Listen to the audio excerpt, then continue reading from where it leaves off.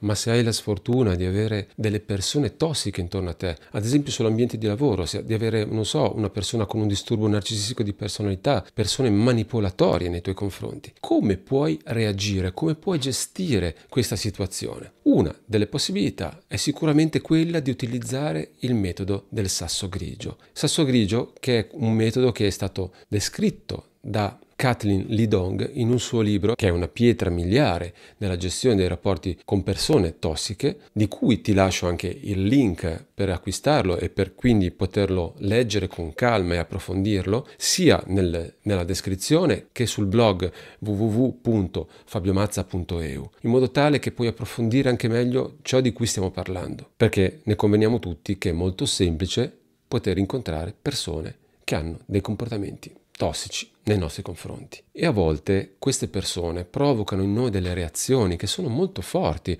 che sono di sofferenza, che sono di disagio, che sono di vergogna, che sono di, di senso di colpa. Quello che sappiamo di solito è che comunque ci stiamo male, cioè soffriamo per avere intorno queste persone che dal nulla comunque ogni volta trovano uno spunto per stuzzicarci, per farci stare male, per renderci la vita più difficile a volte perché vogliono essere più competitivi e quindi vogliono affossarci, altre volte proprio perché non riescono a farne a meno, devono comunque intossicarci e manipolarci. E tutto questo lo sappiamo benissimo, ha un grosso costo nella nostra vita, talmente alto che a volte ci spegne addirittura delle nostre energie e quando torniamo a casa dal lavoro ci sentiamo come se fossimo stati derubati. E allora provare a utilizzare il metodo del sasso grigio potrebbe essere un'ottima soluzione per provare a togliere a loro qualche soddisfazione, perché si sa, hanno bisogno le persone tossiche che abbiamo intorno, soprattutto gli individui che hanno un disturbo di personalità narcisistico, hanno bisogno delle nostre reazioni emotive, buone, cattive, non è importante. Per loro la cosa importante è che qualcuno si emozioni per loro, anche fosse rabbia, anche fosse angoscia. Questo però li nutre perché gli fa sentire il loro senso di importanza aumentare. E questo è il cuore del metodo, cioè togliere benzina e carburante alle persone tossiche che abbiamo intorno, cioè come non fornire a loro altra stimolazione per cercare di farci stare male o comunque di rovinarci l'esistenza. È ovvio che questo metodo può essere utilizzato in tanti ambiti. Io mi focalizzerò soprattutto sull'ambiente di lavoro, ma può essere utilizzato anche con un amico tossico o comunque manipolatore, può essere utilizzato con un partner tossico e manipolatore, ad esempio, come dicevamo, con un disturbo narcisistico di personalità. Può essere utilizzato anche con un parente. Ovviamente, a seconda del grado di legame, tutto diventa più complicato e difficile da gestire, ma i principi sono sempre gli stessi togliere loro energia, interesse e benzina. Anche perché, se ci pensate, sasso grigio è un qualcosa di inerme, è un qualcosa che non ha vita, è un qualcosa che sta nello sfondo. È difficile accorgersi di un sasso grigio mentre si cammina, è più facile accorgersi di un sasso colorato, di un qualcosa che ci attira l'attenzione. E invece quello che dobbiamo cercare di fare è di diventare capaci di non suscitare interesse nelle persone che ci vogliono comunque danneggiare o complicare la vita. È chiaro che adesso che abbiamo compreso un po' la filosofia l'idea che c'è dietro a questo tipo di reazione, cioè quella di non provocare, di non suscitare interesse, attenzione, di non attrarre a sé la persona che ci vuole fare del male e che a volte, se è grave, si diverte pure nel farci del male, possiamo pensare a come applicarlo. Esistono delle differenze, come dicevamo, cioè sia di ambiente, ambiente lavorativo, familiare, di coppia, amicizie, ma esistono anche delle differenze tra individui, cioè ad alcuni funziona in un certo modo, ad altre persone funziona diversamente. Esistono diverse strategie da mettere in atto e bisogna adattarle alla persona che si ha di fronte. Ma l'obiettivo è sempre e solo uno, quello di far disinteressare la persona malevola nei nostri confronti, la persona tossica, alla nostra vita. Non vorrei mai che si confondesse il metodo del sasso grigio con l'ostruzionismo o comunque con un trattamento del silenzio, perché è veramente l'opposto. Cioè, Mentre il trattamento del silenzio, che è comunque il silenzio punitivo che viene messo in atto molto spesso dalle persone manipolatorie, soprattutto dai narcisisti, cioè coloro che hanno un disturbo di personalità narcisistica, è messo in atto soprattutto per attirare a sé le altre persone, cioè far sentire in colpa, far provare vergogna, far chiedere all'altra persona ma perché mi sta trattando in questo modo, ma perché non mi dà l'attenzione che vorrei, io vorrei essere più vicino, perché mentre il narcisista lo usa il silenzio punitivo, il trattamento del silenzio per farti sentire in colpa, per cercare di attirarti a sé, per avere più potere. Quello che fai invece con il sasso grigio è il contrario, è proprio cercare di disinteressare l'altra persona, fare in modo che esca dalla tua vita, non vuoi avere più potere su di lei, vuoi semplicemente che ti lasci in pace, che se ne vada. Altra differenza è che mentre l'ostruzionismo, il trattamento del silenzio, il silenzio punitivo, è un qualcosa che è abusante, è violento. Pensate a un genitore che fa questo trattamento a un figlio, è qualcosa di molto potente e di solito è fatto per manipolare l'altra persona, per indurla a fare ciò che si vuole, ottenere quindi un vantaggio da questa situazione. Quando una persona mette in atto invece il comportamento del sasso grigio, quello che vuole è difendersi dall'abuso, dagli attacchi della persona che ha di fronte. E in ultimo, ribadiamo ancora, quando tu fai il metodo del sasso grigio è perché vuoi riuscire a difenderti da azioni magari anche violente o comunque verbalmente, a volte, a volte forse anche fisiche, e vuoi mettere qualcosa che ti aiuti a difenderti. Quando invece viene messo in atto il silenzio punitivo o l'ostruzionismo è qualcosa che tende a offendere l'altra persona e quindi è abusante, non è da abusato. Fatte queste distinzioni, adesso iniziamo a dirci alcuni modi in cui mettere in atto il metodo del sasso grigio. Il primo è di evitare di dire alle persone che lo stai facendo. Cioè, anche se sei una persona onesta, leale e ti piace dire quello che pensi e quello che provi alle altre persone, se hai a che fare con persone che tendono a intossicarti o a manipolarti, che risucchiano le tue energie, che ti trattano male, che sono a volte anche offensive nei tuoi confronti, non devi dire che stai cercando di evitarli o che vuoi staccarti da loro, perché questo diventerà un'ulteriore freccia che avranno loro nella loro faretra contro di te, perché utilizzeranno questa informazione per farti vergognare davanti agli altri, oppure per farti sentire in colpa, oppure per avere più controllo nei tuoi confronti. Comunque è un'informazione che è sempre meglio non dare. Secondo, utilizziamo tantissimo nella comunicazione il nostro contatto visivo per esprimere ciò che pensiamo, per esprimere le nostre emozioni, per far capire all'altro e sottolineare all'altro ciò che noi pensiamo e viviamo profondamente. In questo caso è da evitare. E allora è più utile eh, guardare il computer, è più utile guardare da un'altra parte, cercare di non fissarli negli occhi, ma al limite potremmo fissarla alla loro punta del naso o guardarli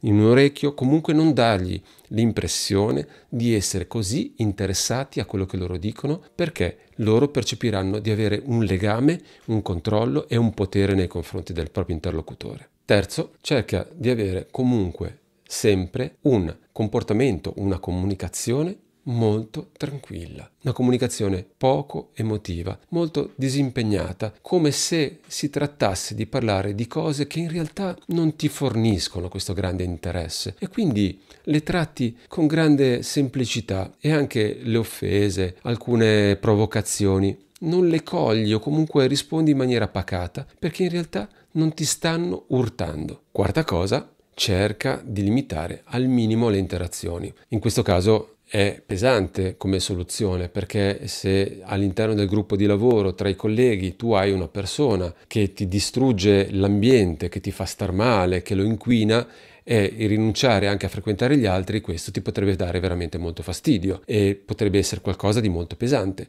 Però se tu pensi che andare a pranzo con loro è comunque sempre fonte di provocazioni, eh, di insulti, di essere messi in ridicolo di fronte agli altri, di essere comunque sempre un po' dileggiati, sempre un po' tirati per la collottola in cose che non si vuole. Il fatto di poter limitare, quindi in quel caso, ad esempio, mangiare in un altro orario o cercare di portarsi da casa qualcosa, mangiare isolati, è una rinuncia importante, lo capisco, ma potrebbe essere utile per far capire che non sei così interessata ad avere comunque sempre il contatto con queste persone. Vale anche per tutto il discorso eh, dopo lavoro, vedersi fuori orario per avere qualche situazione, non so, andare a fare l'aperitivo, cercare di limitare al massimo. È una rinuncia, ma questo può aiutarti a percorrere quella strada di provocare disinteresse nel narcisista, nella persona tossica, manipolatoria che è dall'altra parte. Quinto, cerca di limitare il più possibile le interazioni con loro. Devono essere soprattutto brevi e se hai la possibilità utilizza metodi elettronici, usa la mail, usa messaggi, cerca di chiamarli ma il meno possibile in modo tale da scambiare il più possibile informazioni ma da avere minori interazioni possibili. È chiaro, nell'ambiente di lavoro forse questo è possibile perché tra colleghi tante volte ci si possono scrivere dei messaggi, si usano delle chat per comunicare, non è necessario per forza alzarsi e andare all'alta scrivania o comunque alzarsi e andare nell'altro ufficio. È possibile a volte limitarsi. Nelle altre situazioni, quali possono essere quelle sentimentali, più semplice quando si è cogenitori eh, di alcuni figli con un ex o una ex che è manipolatoria, narcisista, eccetera, bisogna cercare anche in questo caso di essere il più possibile fermi sulle proprie posizioni e sulle interazioni proprio legate solo alla gestione dei figli. Ma tornando al lavoro, solo discutere di cose necessarie, non avere conversazioni del più e del meno. Sesto, non fornire informazioni personali. Lo so, è brutto pensare questo, soprattutto se si è persone, come dicevo, oneste, leali, interessate, capaci di ascoltare, con dei valori. Pensare di non poter condividere con persone con le quali si condivide invece molto tempo, otto ore al giorno, pensare di non poter dire delle cose importanti della propria vita. Potrebbe succedere che un membro della propria famiglia ha un problema di salute importante, potrebbe succedere che stiamo vivendo una situazione relazionale difficile, potrebbe succedere che abbiamo bisogno di sfogarci. Dire cose nostre personali a queste persone è veramente un autogol terribile, perché non forniremo a, ad altre persone dei motivi per starci più vicine o per essere più capite ed essere apprezzate. Forniremo semplicemente più armi e quelle stesse cose che noi abbiamo detto in quel momento, magari sentendoci anche capiti, potrebbero essere utilizzate in una riunione per discreditarci o per rubarci una, un lavoro, un compito. Magari confidare, guarda, ho un problema perché mia moglie, mio marito passa un brutto momento con la salute o col proprio lavoro, potrebbe essere il modo per cui quella persona tossica poi si appropria di alcune nostre mansioni all'interno dell'equipe, del team di lavoro e allora è sconsigliatissimo dare informazioni personali. Credo che a quel punto uno debba scegliere solo una persona molto fidata che non ha questo tipo di disturbo, che non è tossica e provare ad avere con quella persona un maggior rapporto e non dire cose di sé per poter avvicinare a sé la persona tossica che ti maltratta quella bisogna tenerla lontana e uno dei modi migliori è quello di non fornire informazioni personali. 7. Potremmo riassumerlo con non si può combattere tutte le battaglie, non si può fare a pugni con tutti gli smargiassi che si incontrano, quindi devi scegliere quali battaglie hanno un senso e quali no e generalmente se hai la possibilità sono veramente pochissime. L'altra persona ti provocherà, cercherà di metterti in difficoltà, cercherà una tua reazione e tu sarai pronto o pronta a difenderti, a confutare quello che sta dicendo, ma questo in realtà è fare il suo gioco. Se proprio ti senti oberato dallo stress, ti senti sempre comunque in difficoltà, ogni volta che ti rapporti e ti relazioni con questa persona, io ti consiglierei di prenderti un diario e di segnarti le cose, di scrivertele sul telefono, su un diario fisico, in modo tale da poterle scaricare. Ma usarle per combattere con lui o con lei, direi che è una mossa veramente sbagliata, comunque contraria al metodo del sasso grigio. Ottavo modo è quello di iniziare a comprendere sempre di più quali sono i fattori scatenanti nella tua discussione con l'altra persona, quali sono i tuoi trigger, i punti con cui l'altra persona che riesce a metterti le mani, come mi disse una volta un collega tedesco, nelle trippe, cioè riesce a metterti le mani in qualche punto in cui tu senti veramente di essere strappato da dentro. Devi conoscere quali sono le sue armi, quali sono le maniglie con le quali lui riesce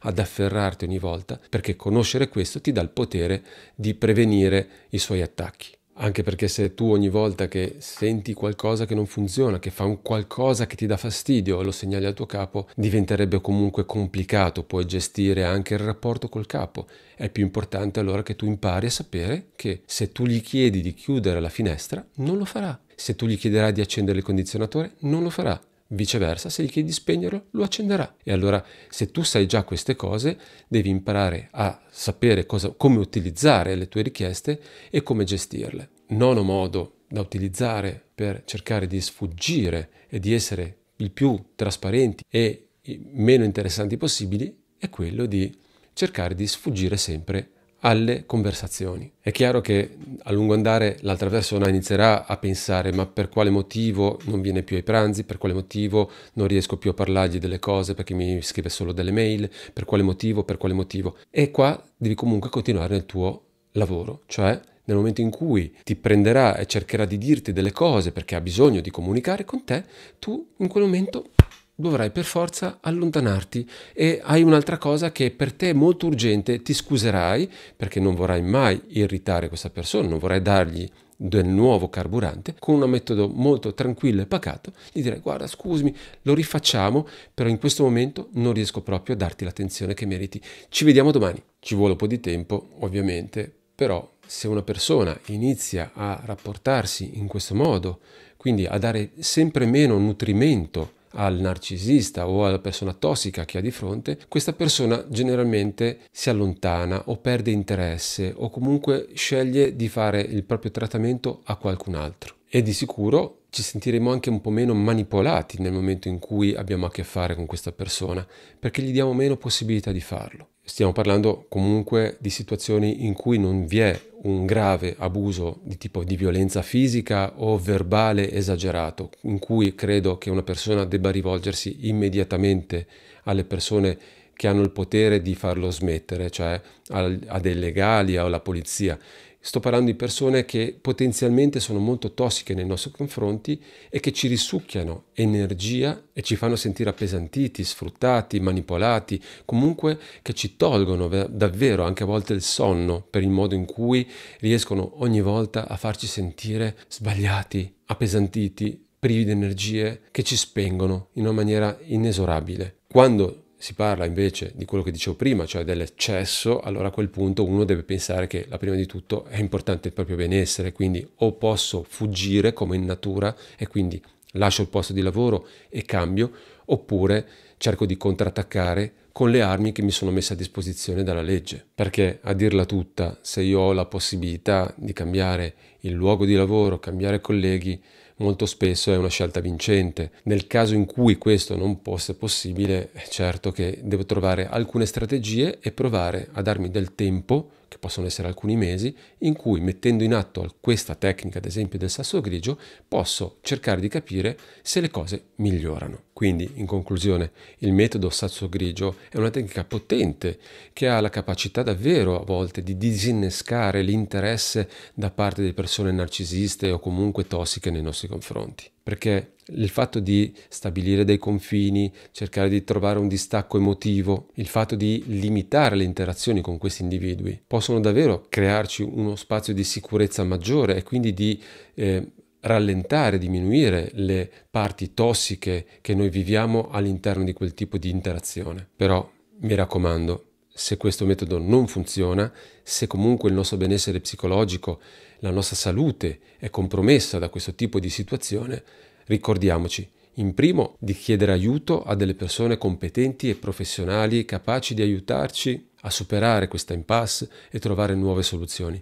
Secondo, se è possibile, si può anche prevedere di cambiare il lavoro e cercarci un ambiente in cui possiamo veramente essere noi stessi, tirar fuori le nostre qualità lavorative e personali e sentirci finalmente appagati nel fare qualcosa che rispecchia la nostra personalità e le nostre capacità. Se questo video ti è stato utile puoi lasciare un like e ti consiglio di vedere anche sul sito www.fabiomazza.eu gli altri articoli che possono interessarti e se non l'hai ancora fatto ti pregherei di iscriverti al canale YouTube per far crescere la community e soprattutto se hai degli spunti, delle esperienze, delle storie, delle domande che vuoi condividere con gli altri membri della community, scrivile qua sotto.